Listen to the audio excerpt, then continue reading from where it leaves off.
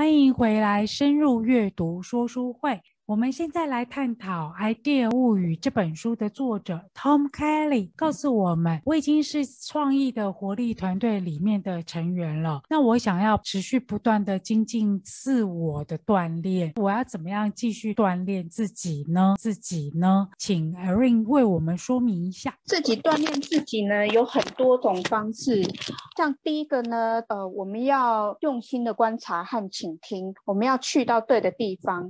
像如果呢，我们想要制造青少年用的商品或服务，那我们一定要去观看青少年玩些什么，青少年聚集的地方。那如果呢，我们的产品或服务的对象呢是年纪比较大的族群，那我们是不是应该要去退休的社区呢，或者是去咖啡馆？如果我们对电器感兴趣，到东京的时候呢，是不是要去一趟电器的中重镇秋叶原走一趟？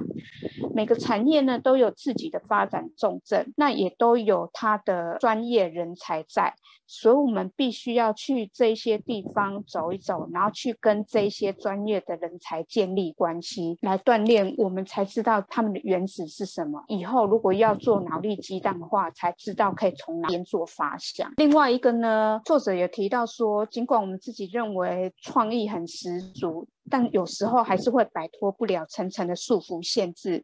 因此呢，作者有提到一个概念性的专案，优良的概念专案呢，可以让大家抛开一切的束缚，让每个一个人呢，可以海阔天空的锻炼自己的创意神经。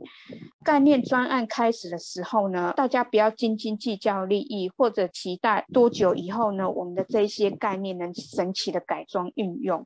他说，胡思乱想是很重要的一件事情，因为概念专案呢，可以直接激发激发我们。的创意，帮助我们对产品的类别有新的构想和架构。那另外呢，我们常常在电影去电影院，在电影上映之前呢，都会有很多预告片嘛。我不知道大家的喜好是怎么样，但是我个人是蛮喜欢看这短短一两分钟精彩片段。如果这一两分钟精彩的那个预告片呢？呃，很吸引人，就会吸引我去看这一部片。作者提到相同的意思，因为我们前面有提到，当我们创意发想的时候呢，就要把这些发想视觉化，做出成原型出来。如果我们做出来的这个原型呢不够吸引人，或者是说不出动人故事，好的东西出现，我们可能必须要再重新回头去检视我们这些创意是是。需要再修改。作者还有提到如何去锻炼呢？就是我们要博览书，就像刚刚 Angel 提到的一样，我们要大量的摄取不一样的东西。作者建议呢，我们可以从科幻小说开始看。呃，人类登陆月球啊，只是一个预言，但是后来我们实际已经实现了。所以有一些科幻小说啊，里面有很多元，或许不见得每一个都能实现，但也有可能会实现。就像我们的手机 iPhone 一样，以前是按键式的，谁知道？哎，现在触控的滑一滑就能打电话。从无到有的创意呢，就有一点像是预测未来，所以掌握未来的趋势是非常重要的，重要的。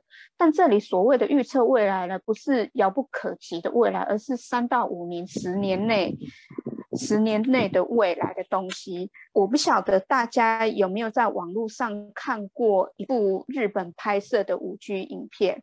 我们五 G 的网络是现在已经慢慢的在有一些五 G 的基地台已经起来了。在日本拍摄的这个五 G 的选这个剧情里面，是一位年轻人到他乡下去找他的那爷爷奶奶，那他的姐姐是没有办法跟着去。透过五 G 这样子科技呢，他的姐姐就可以利用五 G 这个技术投射出来他的身形，然后演奏音乐给他的爷爷奶奶听。那他爷爷奶奶就像身临其境。他的孙女也在现场一样，这个就是未来三到五年有可能会实现的东西。其实书中里面呢还有很多内容，那有兴趣的呢，请大家来翻书。谢谢为我们的说明。做创意，你一定要先有点子，然后有愿景，知道该怎么做的做法，知道怎么做，你还要具有执行它的能力。这个部分我们下一段来讨论。